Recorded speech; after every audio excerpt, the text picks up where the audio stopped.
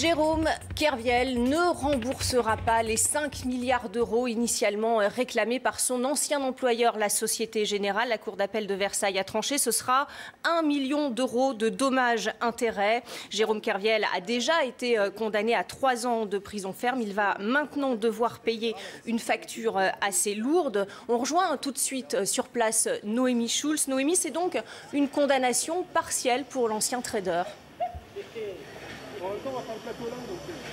Absolument. La Cour d'appel de Versailles a d'abord rappelé que Jérôme Kerviel était bien euh, coupable et que les fautes qu'il avait commises avaient coûté à la Société Générale près de 5 milliards d'euros. Pour ça, il a été condamné de manière définitive. Les juges ont ensuite estimé que les carences euh, de l'organisation de la banque, notamment dans le dispositif euh, de contrôle et de sécurité, eh bien, elles avaient un caractère fautif en clair, euh, la Société Générale aussi a commis des fautes et elle a donc euh, contribué à la production du dommage et donc à la perte de ces 4,9 euh, milliards d'euros. Eh bien, ça limite du coup son droit à une indemnisation. Ce droit est ramené à 1 million d'euros, une somme que Jérôme Kerviel devra donc payer. Évidemment, l'ancien trader espérait que la Cour suivrait les réquisitions de l'avocat général et, ramènerait ces dommages et intérêts à néant, c'est-à-dire à, rien avoir à payer du tout. Mais il a tout de même à la sortie euh, souligné le fait que l'on était passé de près de 5 milliards d'euros à 1 million d'euros. Je vous propose d'écouter Jérôme Kerviel à la sortie du tribunal.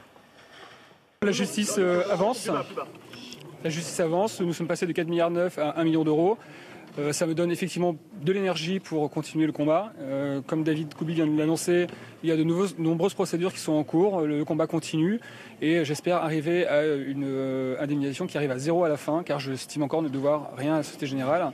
Voilà, le combat continue. C'est la justice suit son chemin. C'est long, c'est fatigant, mais l'énergie nous, nous l'avons et nous en manquons pas.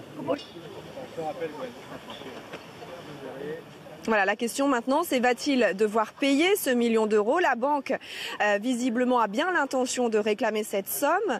Euh, le combat, on l'a entendu, il continue pour Jérôme Kerviel et ses avocats. Un pourvoi en cassation est sans doute à attendre euh, avec cette décision. Et puis, ce qu'ils espèrent, les avocats de Jérôme Kerviel, c'est tout simplement un nouveau procès au pénal, une révision. donc l'affaire Kerviel, elle n'est pas encore terminée.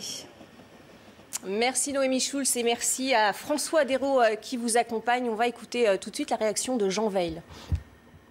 Il est par ailleurs débouté de ses demandes de frais puisqu'il n'a pas été relaxé, que la condamnation pénale est condamnée, et par conséquent c'est une décision tout à fait satisfaisante et qui satisfait, euh, à mon sens, la Société Générale, qui évidemment va prendre le temps de regarder tranquillement le détail de la décision et la manière dont elle est rédigée, mais euh, une lecture très rapide donne le sentiment qu'il n'y a pas de difficulté à accepter cette décision. Voilà donc euh, pour Jean Veil, l'avocat de la société.